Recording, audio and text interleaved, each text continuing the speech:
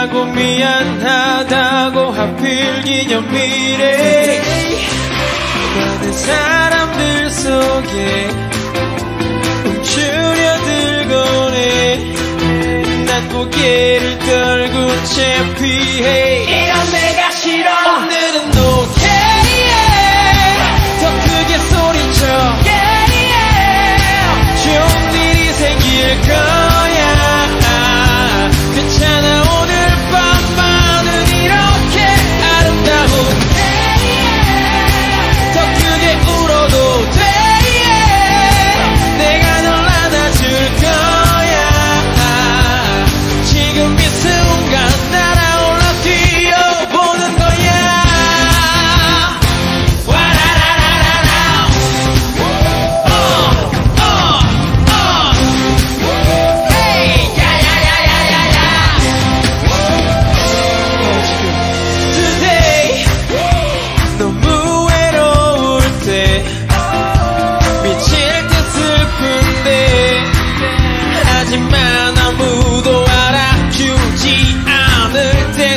forget today.